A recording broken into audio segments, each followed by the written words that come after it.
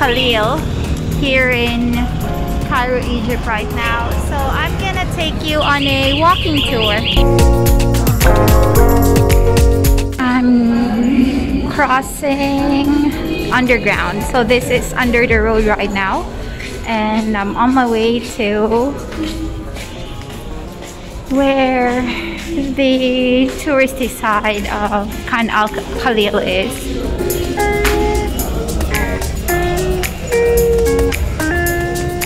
So yeah, we've now crossed the road.